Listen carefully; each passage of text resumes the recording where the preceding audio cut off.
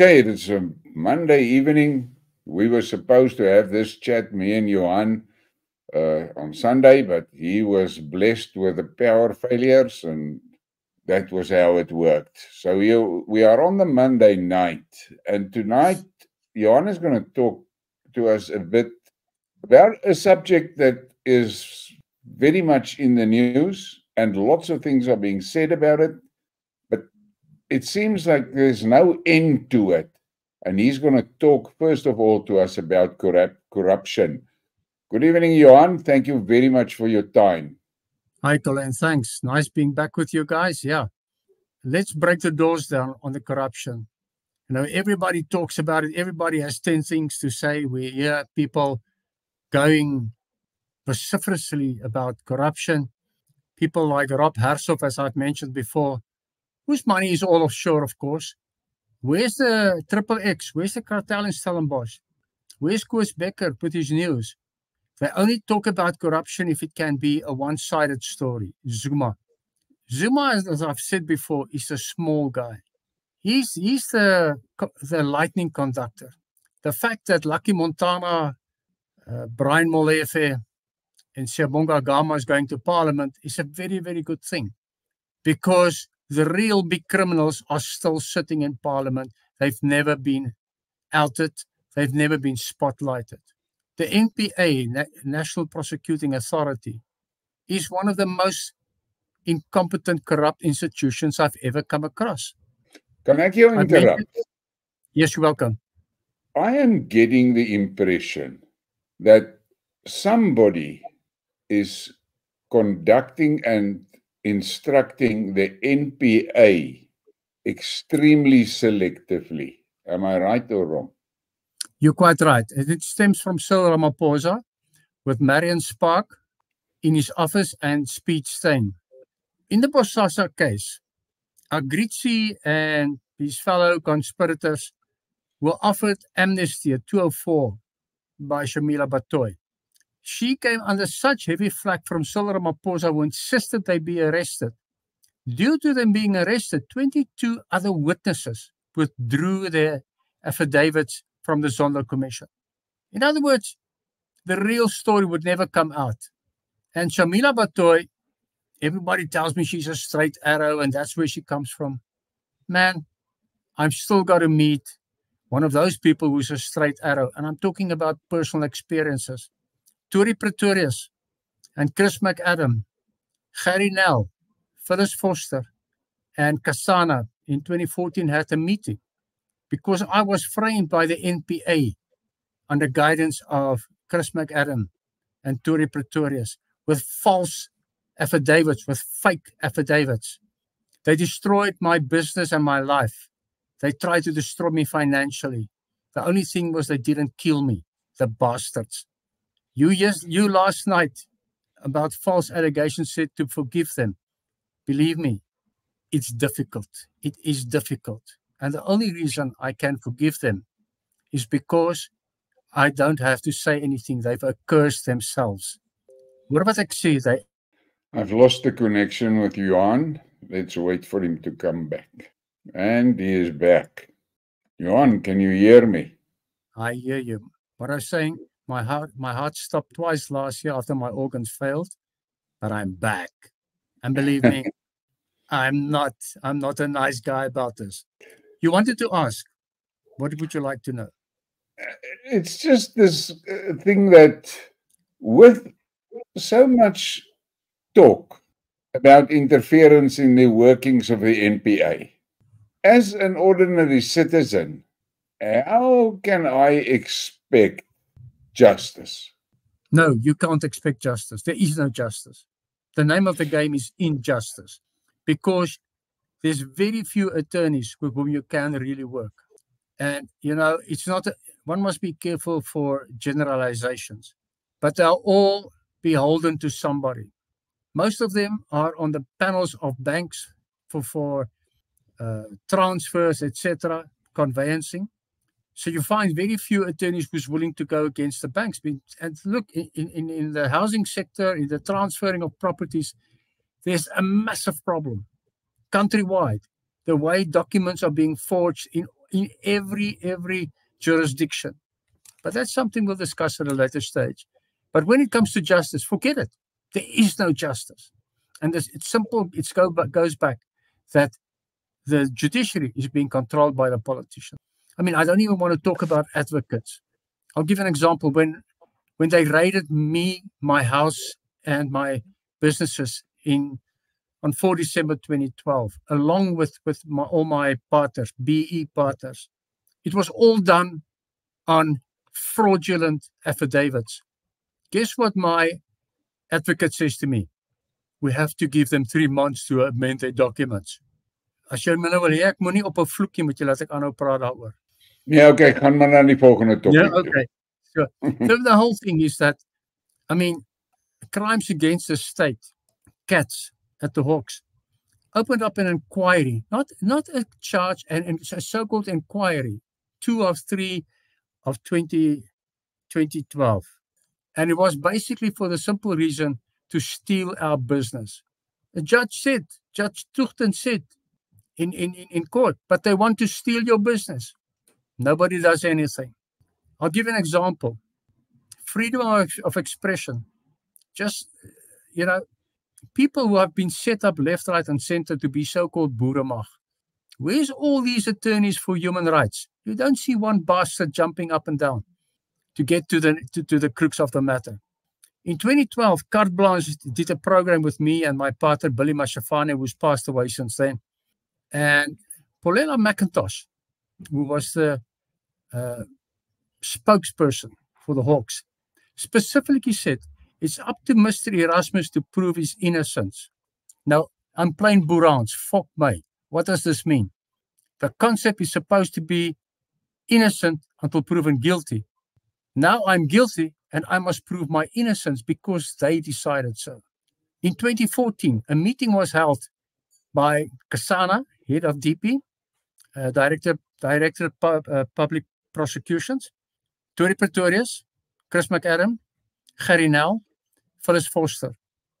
I received in, on 10 December 2018 a letter from the NPA saying we held this meeting in 2014. There's no case against you. Excuse me? Four years later, Torie Pretorius took the file for review. Torie Pretorius has now retired from the NPA with four types of cancer. And I'm very surprised that he only got four types of cancer.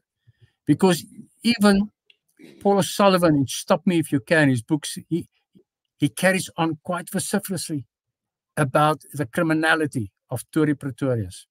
And speaking to the Hawks, they said to me, but we've received many complaints against these two, but nothing is being done. So you see, when you talk about justice, there is no justice. That's the short and sweet. I always say to people, you know that lady with the scales who's got been blindfolded? It's not about justice. It's so that she cannot see who's raping her. And that is what ja, officers do. Say again? Ja, dit is 'n groot aantuiging wat jy nou maak, maar jy weet Uh, maar waarheid. Anders as you're looking at the results, you're looking at yep. what is happening, then you have to come to that conclusion. Remember what I said. One must be careful of generalizations. Yes. And and the big thing is there are people who still want to do the right thing. But they're always finding themselves at the short end of the stick, whether it's an attorney, whether it's an advocate, or whether it's a judge. There are always there's always somebody who's trying to manipulate the situation. Let me give you an example of, of how, how things happen in this country. We have got 18 intelligence services. Okay. Every intelligence service has got a black account. Just a moment. Just a moment. How many intelligence services? 18. I can send what you the, the document with all that? the names. What the fuck 18. is that? and everyone is interception is intercepting communications. I have got proof on how my stuff has been intercepted. The big thing is, and again, again, it's the white people. The black people stood up and say, wait a minute, you don't know what you're talking about. Because Vanessa Toey said to a cabinet uh, committee, Erasmus must be arrested. And they said to her, for what? For what? She was the only white person in that meeting. The big thing is, is that there's a group of white people in this country In the military terms, we would call them jam stealers. It's people who were never able to get to a senior position unless they were brown nosing to get to a position. And they were they were the main culprits in stealing. Rico van Wyk is sitting with his ass in Brackenfell. Rico van Wyk is an ex military policeman who worked eventually for Denel. The fact that he hasn't been locked up is a travesty. But he was part of a transaction to export over 70 G6 guns to the UAE. A G6 gun, remember, in 2013 to Libya, we had a quote for 8 million euros a piece. An official making a, a commission for himself and lying because he was sideways up the asses of all the generals. He might know he might know the secrets about them. The intel- so-called intelligence services, everyone has got a black account. A black account means these are funds which are off limits to the Auditor General. The Auditor General just have a general overview. But these are funds that's being used in operations where uh, total deniability is maintained pertaining to anything happening in an intelligence situation. They can always say, I was in that situation. I was sitting in the Congo, in Zaire, with $10,000 in my back pocket. The SA government would always say, We don't know him. We don't know him. He doesn't work for us. Meanwhile, they were paying my salary into Switzerland. Okay? That's what you call total deniability. That is the situation. The big thing is these people are intercepting anything and they are creating false documentation. They are sprouting nonsense because, firstly, they're incompetent. The analysts, black and white, are incompetent. Secondly, there's no leadership. Loyiso Jafta from SSA, State Security Agency, testified at the Zondo Commission. Again, he testified about Arthur Fraser and all the other issues about SSA and their sins.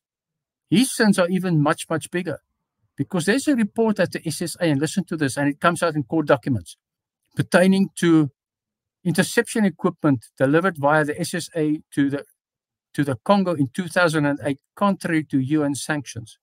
The upshot thereof was that Kabila assassinated 1,200 people by using that equipment. The questions were asked is Thabo Mbeki therefore guilty of transgressing UN sanctions and for crimes against humanity? And it is in court documents, and nobody wants to talk about it. But Loyiso Jafta, I understand, and a group of officials are trying to steal money like second to none because how they do it. They have created covert companies, covert companies which they finance as an op- operational expenditure from a black account.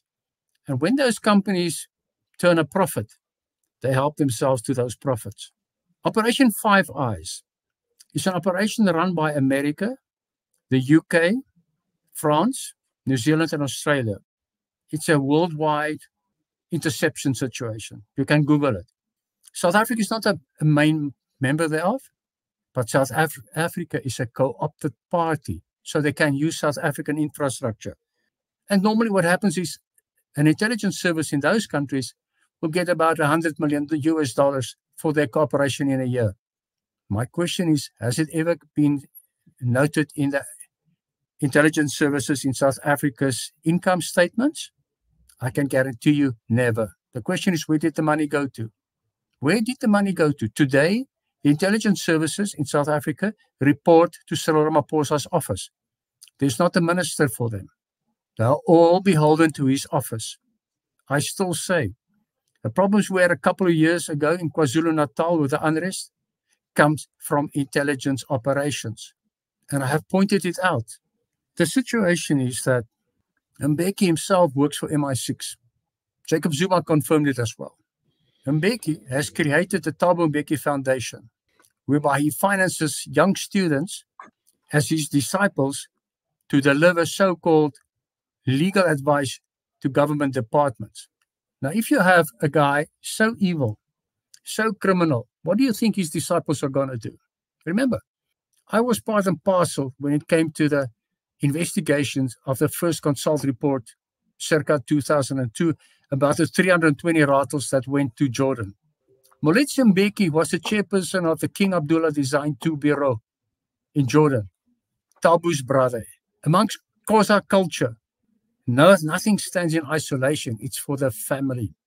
Thabo Mbeki did nothing about it. Over $300 million went missing, which didn't come back to the fiscus at that stage because they bought those Ratels for 50,000 Rand a piece. What happened was Ivor Ichikowitz and Paramount Logistics came onto the scene. We know that Paramount Logistics land systems were liquidated a couple of years ago with 300 people losing their jobs. And we know that they've now a cropper in the UAE and under, under Section 11, Chapter 11 uh, proceedings in the United States because they owe so much money.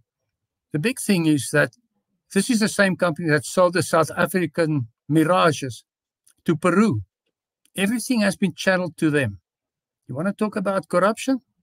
And what happens about the corruption? Nobody does anything. Let me give you another example. When Mugabe came to power, the National Intelligence Service, remember now I'm talking late 1970s, ran an operation called OPS, Operation Chicken.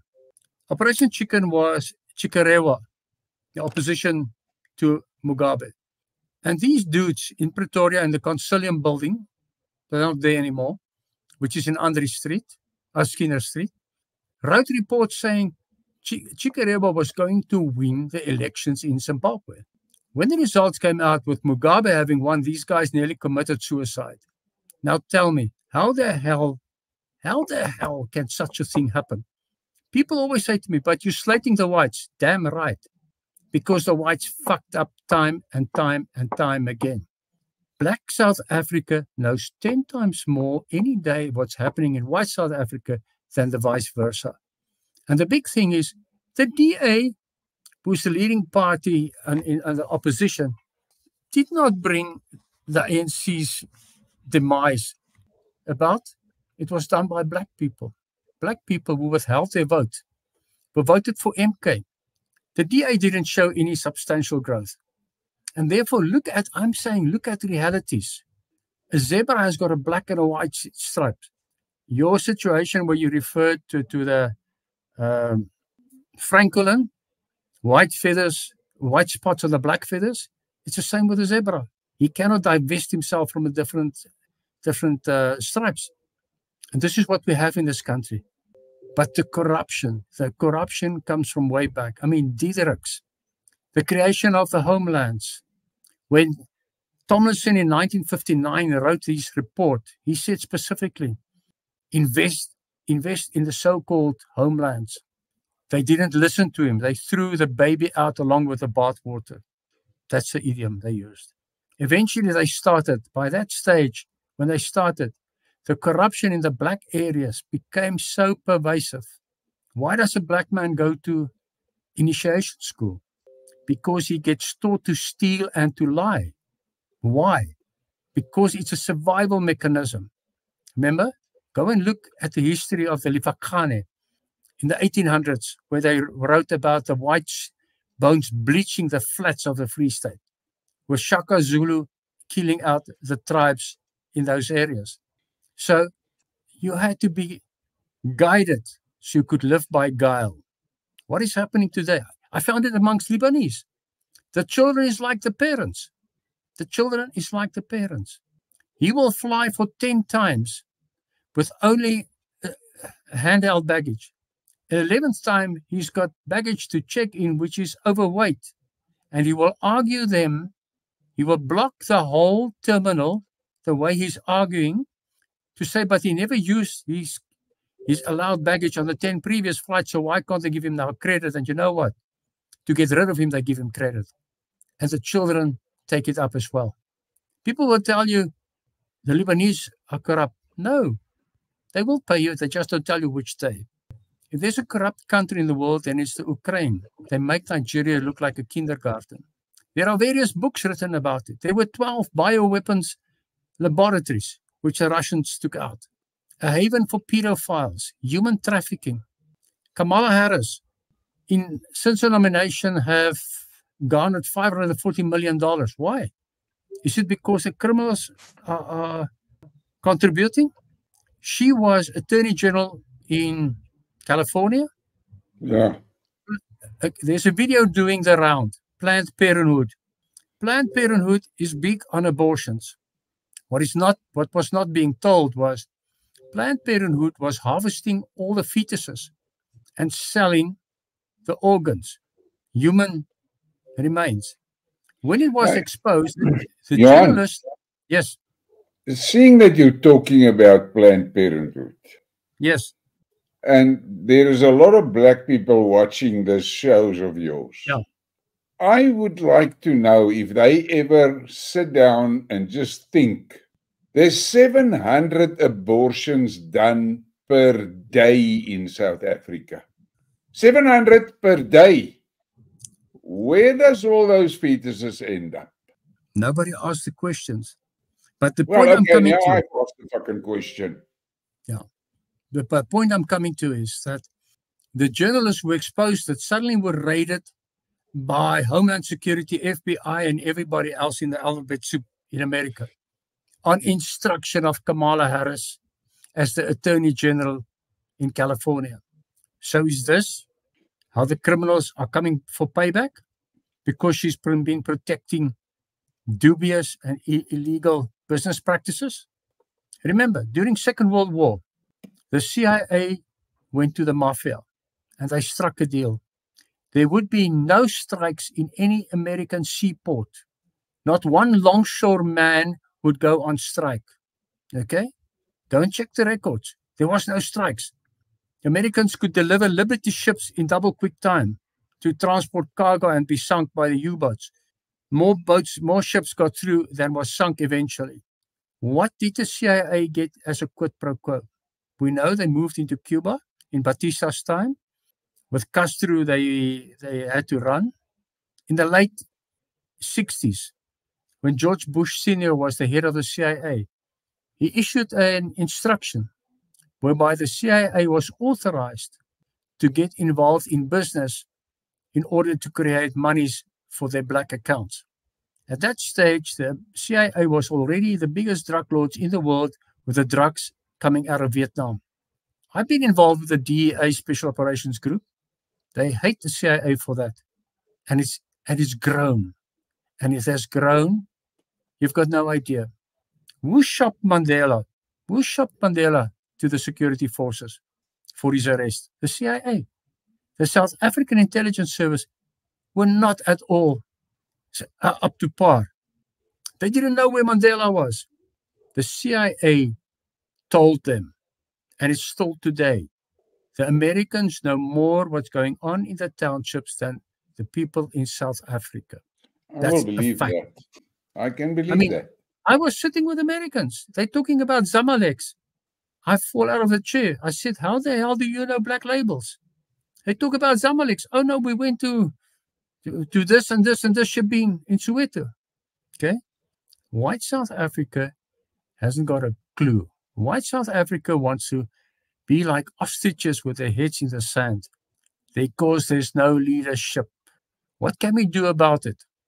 I have sent various criminal charges which have stemmed which have stemmed from since 2008. One about the Glock pistols, two about high treason, including the whole Armscor saga around me. Plus, I mean, I did the final investigation on the Mbombela soccer stadium in 2009. At that stage, Thabo Mbeki struck a deal with the jihadists that they would be welcome in South Africa for R&R, rest and recreation, so that they didn't bomb soccer 2010. There's 11 camps in South Africa, more than 1,500 ISIS every day in South Africa, actually more. And guess what? What does the American say to me? Oh no, we've got them all on photo as they come through the airports. We've got them on camera. Cyril is, was working for the CIA in 1994. The allegations are that Roelf Meyer was working with him, but not only them, not only them. There are so much in foreign intelligence involvement in South African interference. A guy worked for me, he lived in Balmoral outside Witbank, Henny. His father-in-law was Hertzog, who was premier in the late 20s. He said to me, the old man said to him, he was two months into his premiership when the attorneys were flocking to his corridors. They were lining up in order to steal the farmers' ground on what one other trumped up legal document. You want to talk about corruption. The problem is our legal system is so fraught of corruption. The allegations were that Shaun Abrahams closed 79 cases of pedophilia in the judicial system. We know that Paul Kennedy, acting judge, SC, advocate Johannesburg Bar, committed suicide after being arrested for pedophilia. Gerard Steenkamp, his partner in crime, was arrested and is incarcerated. The, the detectives who were investigating said, We have a whole list of people. They've gone quiet. Why have they gone quiet? The Johannesburg Bar Association, in their constitution, the amendment says no member will criticize another member's lifestyle. They admit to using drugs. Pedophilia is rife in the legal system, in the legal environment. I'm not talking about sex. I'm not talking about prostitution. I'm talking about pedophilia. And do you know how to how to ID them? Just see who's defending the pedophiles. Just see and follow follow the money. It's always about the money. The problem is if you go into an environment and you go back and back and back, and eventually you get hooked by what's going on in that environment. Very few people have the guts and the backbone to back off. City of Tshwane, it was under administration. Excuse me. Lesufi wants to put it again under administration. But at that administration time period, 2 billion rand went missing. 2 billion rand was written off with the refusal or the recalling of the payment of levies in 2006 by, by Trevor Manuel. Excuse me. The point is, it's over 4 billion. Plus interest today, we're looking at approximately 8 billion.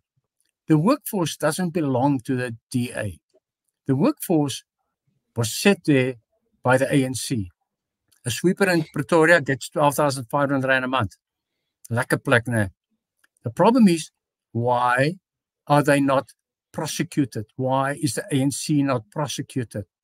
Why is Helen Zille not pushing for prosecution? Was this the deal they strike to come into a government of national unity that they will not prosecute the ANC? I mean, now you have John Roadkill Steenhuisen running off to China with Cyril Ramaphosa. Uh, R.W. Johnson from uh, Rand Daily Mail. He wrote a book Brave South Africa, the Brave New World, Brave World. You must read it, the final chapter.